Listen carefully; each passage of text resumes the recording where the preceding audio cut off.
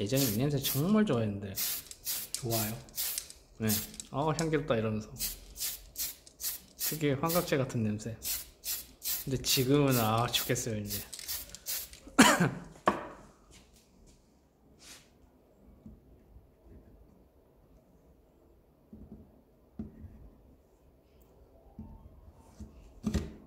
음, 이렇게 들고 돌려가시면서